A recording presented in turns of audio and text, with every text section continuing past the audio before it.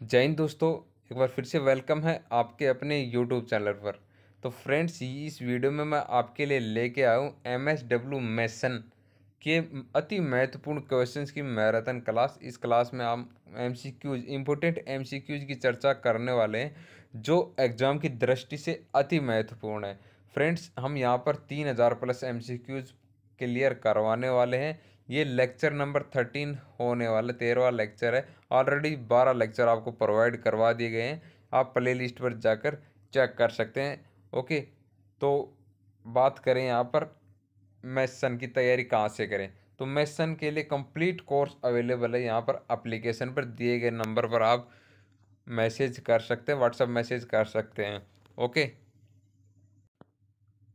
अभी काफ़ी स्टूडेंट की एक क्वेरीज आ रही थी कि, सर, मैसन के एडमिट कार्ड कब तक आएँगे? तो मैसन के एडमिट कार्ड जो है, आपको पाँच, चार से पाँच दिन के अंदर देखने को ही मिल जाएगा। ओके? तो काफ़ी कम समय है आपके पास तैयारी करने के लिए और इस बार सभी के एडमिट कार्ड आने वाले हैं। ओके? गोल्डन चांस होने वाला, सुनहरा अवसर है तो आपको अभी से तैयारी के लग जाना चाहिए। तो चलिए फ्रेंड्स स्टार्ट करते हैं एम की सीरीज़ तो ये है आज की क्लास का पहला क्वेश्चन है यहाँ पे। निम्नलिखित में से कौन दीवार संरचनाओं पर आने वाले बाहर का प्रकार नहीं है? Option A dead load black load live load भूकंप लोड तो इसके राइट आंसर की बात करें फ्रेंड्स तो ऑप्शन बी ब्लैक लोड जो है दीवार संरचनाओं पर आने वाले लोड या भार का प्रकार नहीं है। ओके तो यहाँ पर डिस्क्रिप्शन देख सकते हैं। लोड असर वाली दीवार विभिन्न प्रकार के भारों के अधीन होती है। एक संरचना पर आने वाले भार के प्रकार होते हैं। ये कौन कौन से होते हैं?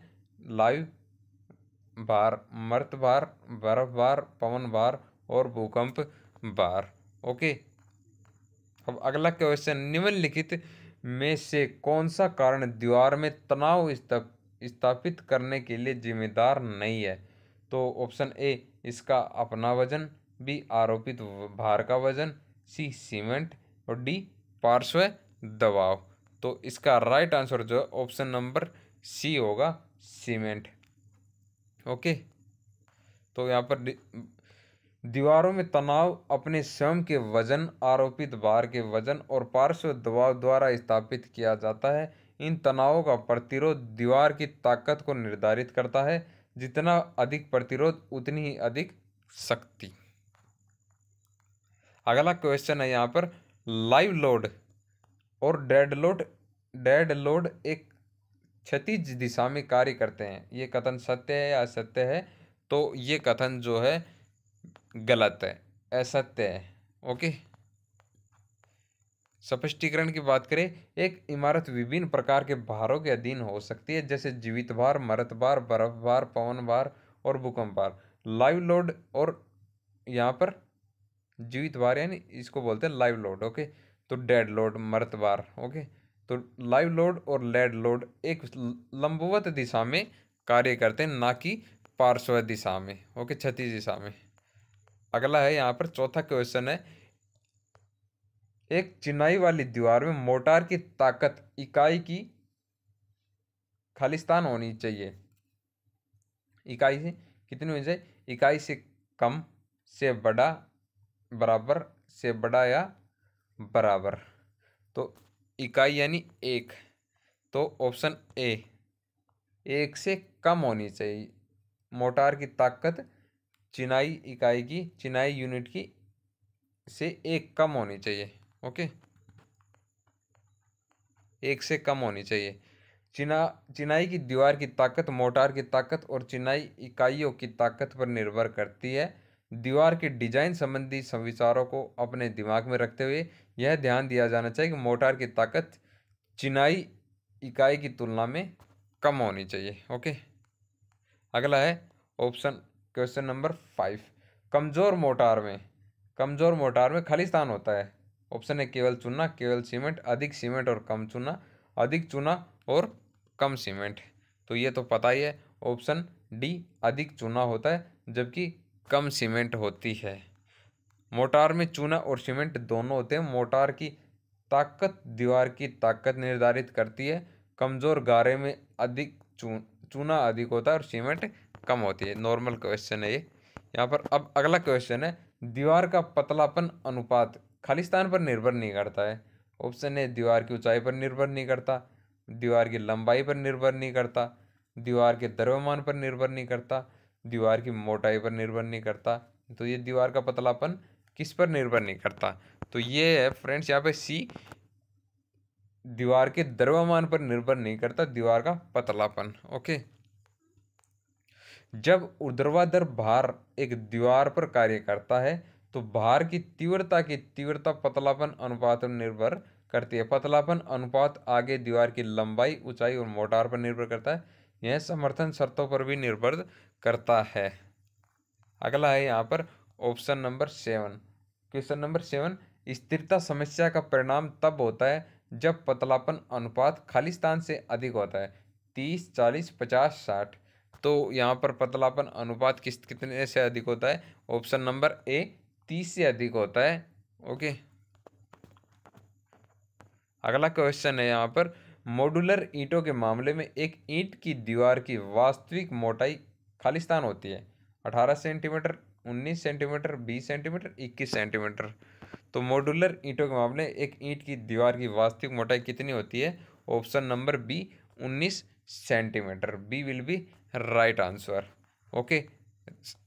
व्याख्या की बात करें ईंट की दीवारों के निर्माण के लिए दो प्रकार की ईंटों का उपयोग किया जाता है। पहला, ये मॉड्यूलर ईंटें और पारंपरिक ईंटें हैं। वास्तविक मोटार, मोटाई वास्तविक या नाममात्र हो सकती है। मॉड्यूलर ईंटों के मामले में, एक ईंट की दीवार की वास्तविक मोटाई 19 सेंटीमीटर है। अगला क्वेश्चन है, क्वेश्चन नंबर नाइन। मॉड्यूलर ईंटों हो चुका है, फ्रेंड्स ये अगला पतलापन अनुपात खालिस्तान के विपरीत अनुपातिक है। किसके विपरीत अनुपातिक है? प्रभावी लंबाई, प्रभावी मोटाई, प्रभावी लंब, सॉरी, यहाँ पर प्रभावी ऊंचाई ऊपर है। प्रभावी मोटाई, प्रभावी लंबाई, प्रभावी ऊंचाई और प्रभावी मोटाई। तो इसका राइट आंसर जो है ऑप्शन नंबर बी प्रभावी मोटाई, यानी पतलापन अनुपात जो है, प्रभावी मोटाई के किसके विपरीत होता है? अनुपातिक विपरीत होता है। ओके तो पतलापन अनुपात प्रभावी लंबाई या ऊंचाई और प्रभावी मोटाई पर निर्भर करता है। या प्रभावी लंबाई या प्रभावी ऊंचाई के सीधे अनुपातिक है, जो भी कम हो, और यह दीवार की प्रभावी मोटाई के व्युत्क्रमानुपाती होता है। अगला है, दीवार की प्रभावी ऊंचाई का उपयोग खालिस्तान अनुपात की गणना के लिए किया जाता है। ऑप्शन है, मोटाई, तनाव, पतलापन, पार्श्व समर्थन। तो दीवार की प्रभावी ऊंचाई का उपयोग किस अनुपात की गणना के लिए किया जाता है? तो ये ऑप्शन नंबर सी पतलापन अनुपात की गणना के लिए किया जाता है। तो एच द्वारा दर्शाई गई दीवार की प्रभावी ऊंचाई पतलापन अनुपात की गणना के लिए उपयोग की जाती है। यह प्रभावी ऊंचाई या प्रभावी लंबाई जो भी कम हो और दीवार की प्रभावी मोटाई का अनुपात है। नेक्स्ट क्वेश्चन है यहाँ पर। दीवार की प्रभावी ऊंचाई दीवार की खालिस्तान का कार्य करती है। कार्य है तो ऑप्शन ए वज़न, द्रव्यमान, वास्तविक ऊंचाई, मोटाई। तो इसका राइट आंसर जो है ऑप्शन नंबर सी वास्तविक ऊंचाई। दीवार की प्रभावी ऊंचाई, दीवार की वास्तविक ऊंचाई का कार्य है ओके तो दीवार की प्रभावी ऊंचाई ऊंचाई, दीवार की वास्तविक ऊंचाई का कार्य जिसे एच द्वारा प्रदर्शित किया गया, दर्शाया गया है। यह पार्श्व समर्थन की स्थिति का भी एक कार्य है इसका उपयोग पतलापन अनुपात की गणना के लिए किया जाता है। एच अगला क्वेश्चन है यहाँ पे। वास्तविक ऊंचाई एच की दीवार की प्रभावी ऊंचाई एक छोर पर आंशिक रूप से प्रतिबंधित और दूसरे छोर पर बाद में प्रतिबंधित है। Khalistan. Zero point eight five H zero point seven five H one point zero zero H one point five zero H तो इसका राइट आंसर जो option number A zero point eight five H अगला है, दीवार की वास्तविक ऊंचाई capital H द्वारा दर्शाई जाती है। समर्थन के खालिस्तान के बीच की दीवार ऊंचाई है। केंद्र, समाप्त फिनिश किनारों, चेहरे। तो यहाँ पर इसका राइट आंसर जो फ्रेंड्स यहाँ पे option number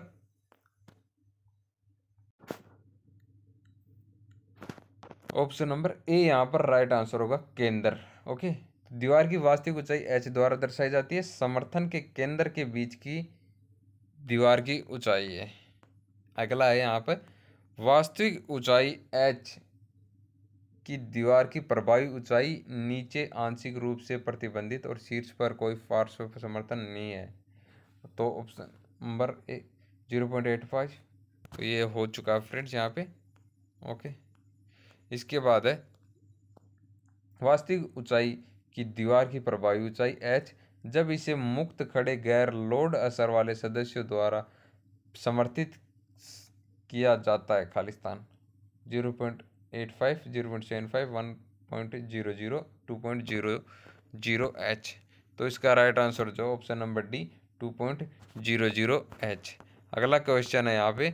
एक चिनाई वाली दीवार की प्रभावी ऊंचाई की गणना समीकरण एच बराबर कैपिटल एच का उपयोग करके की जाती है, जहाँ खालिस्तान का प्रतिनिधित्व करता है। तो option A reduction factor expansion factor पतलापन अनुपात बेसिक कंप्रेसिव स्ट्रेस तो इसका राइट आंसर जो है option number A reduction factor तो option A will be right answer अब अगला क्वेश्चन है यहाँ पे। ऊपर और नीचे आंशिक रूप से प्रतिबंधित दीवारों के लिए रिडक्शन फैक्टर जिसको रोई से रो से प्रदर्शित करते हैं। खालिस्तान तो यहाँ पर zero point six zero zero point seven five zero point eight zero zero point eight five तो इसका राइट आंसर जो है option number B zero point seven five होगा। अगला है, दीवार की प्रभावी ऊंचाई दीवार के वज़न का कार्य है। सत्य असत्य तो ये होगा गलत कथन है ये, ओके? दीवार की प्रभावी ऊंचाई दीवार की वास्तविक ऊंचाई और समर्थन की स्थितियों पर निर्भर करती है। दीवार की प्रभावी ऊंचाई दीवार की वास्तविक ऊंचाई को कमी कारक से गुणा करके निर्धारित की जाती है, जो समर्थन की शर्तों पर निर्भर करती है। ऑप्शन, अगला क्वेश्चन है, एक कॉलम की प्रभावी ऊंचाई खालिस्तान दिशा के लिए वास्तविक ऊंचाई है, जब यह पार्श्व रूप से समर्थित नहीं है, समान दो बार, तीन बार, चार बार। तो इसका राइट आंसर जो है ऑप्शन नंबर बी दो बार।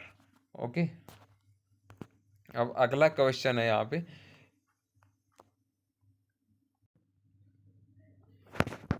ढेर को एक स्तंभ के रूप में डिज़ाइन करते समय अंत की स्थिति लगभग होती है। ऑप्शन ए दोनों छोरों टिका हुआ दोन, दोनों सिरों तय एक सिरा स्थिर और दूसरा सिरा टिका हुआ एक छोर स्थिर और दूसरा छोर मुक्त। तो इसका राइट आंसर जो है option A will be sorry यहाँ पे माफ़ी चाहूँगा सी यहाँ पे राइट आंसर होगा। एक सिरा स्थिर और दूसरा सिरा टिका हुआ। अगला क्वेश्चन है एक गोदाम के आंतरिक आयाम पंद्रह metre into five point six metre है और ढेर की अधिकतम ऊंचाई two point seven zero metre है। दो ढेर में रखे जाने वाले बैग की अधिकतम संख्या है। तो बैग की अधिकतम संख्या कितनी है फ्रेंड्स यहाँ पे option number D will be right answer bag की अधिकतम संख्या तीन हज़ार होगी। ओके अगला क्वेश्चन है, यहाँ पे निम्नलिखित में से गलत कथन का चयन कीजिए। कंक्रीट पर प्रारंभिक परीक्षण करते समय ऑप्शन है सामग्री और पानी का अनुपात वही होना चाहिए जो कार्यस्थल पर उपयोग किया जाता है। एक रूपता बनाए रखने के लिए सीमेंट को हाथ से मिलाया जाना चाहिए। कंक्रीट सीमेंट को एयरटाइट कंटेनर में संग्रहित किया जाना चाहिए। कंक्रीट सामग्री को सैंतीस degree plus plus minus two degree Celsius के तापमान पर रखा जाना चाहिए। तो इसका राइट आंसर जो है डी कंक्रीट सामग्री को सैंतीस degree plus minus two degree Celsius के तापमान पर रखा जाना चाहिए। अब अगला क्वेश्चन है, गोलाकार गुबंद में मुकुट पर सकेंद्रित भार के कारण गहरा प्रतिबल होता है। ऑप्शन ए हर जगह संपीड़ित, तन्यता हर जगह, सी, आंशिक रूप से संपीड़न और आंशिक रूप से तन्यता। ऑप्शन नंबर डी शून्य। तो इसका राइट आंसर जो बी तन्यता हर जगह। अब अगला क्वेश्चन है, यहाँ पे बात करें। आई एस चलनी दस एम mm और सात पॉइंट, चार पॉइंट सात एम mm आमतौर पर खालिस्तान की ग्रेडिंग के लिए उपयोग की जाती है। मोटे समूचे, ठीक समूचे, न तो ए, न ही बी, दोनों।